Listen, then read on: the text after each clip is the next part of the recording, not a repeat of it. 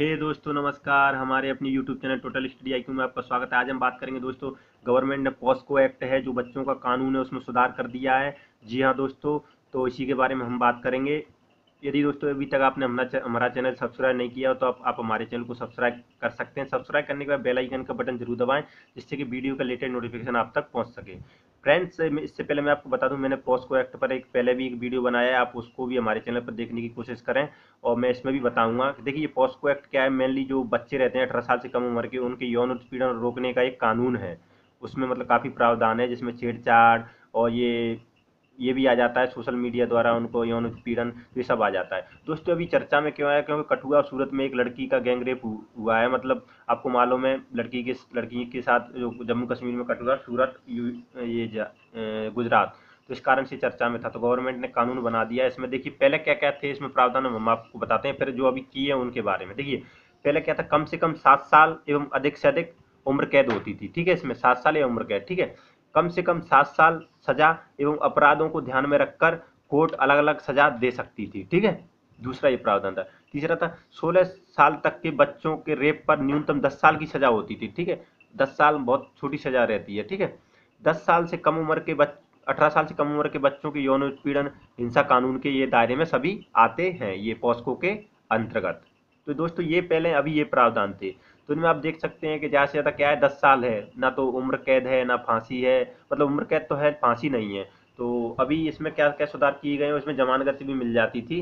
तो आप देखते हैं किस प्रकार से हमारे कानूनों का दुरुपयोग जमानत मिल जाती है। यही कारण से एस सी एक्ट भी सुर्खियों में आया था। उसमें भी जमानत मिल रही है। तो ठीक है, अब इसमें क्या है? इसमें पहला प्रावधान ये सही किया कि अग्रिम जमानत नहीं। मतलब जमानत नहीं मिलेगी। यदि आपके खिलाफ केस हो गया मतलब जमानत मिल जाती, छूट जाते हैं व्यक्ति तो केस चलता रहता तो अब जमानत नहीं मिलेगी जमानत, ठीक है? और कम से कम दस साल सजा होगी। देखिए, इसमें सात साल था, दस साल भी था, लेकिन सात, देखिए, इसमें न्यूनतम दस साल सजा होगी और बारह साल की यदि बच्ची है, लड़की है, उससे दुष्कर्म किया है तो फांसी होगी, ठीक है? और सोलह साल की बच्ची है तो उससे उम्र कैद या फांसी, दोनों में से कुछ भी होगा तो ये काफ़ी अच्छा किया है, ठीक है? और जो सोलह साल की लड़की है तो उसमें क्या है?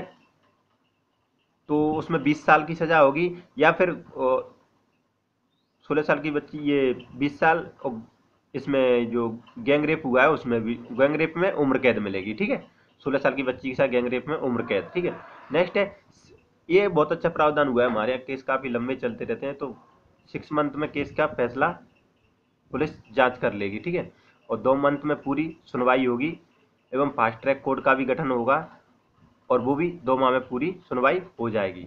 तो फ्रेंड्स ये सेंट्रल गवर्नमेंट ने ये कानून बना दिया है। अभी मतलब कानून बन जाएगा। ये सुधार किए हैं। राष्ट्रपति जी के बाद जाने के बाद मतलब उनके हस्ताक्षर होने के बाद ये कानून बन जाएगा। तो फ्रेंड्स ये हमने आपको बताया जो पॉस्को एक्ट है उसके बारे में।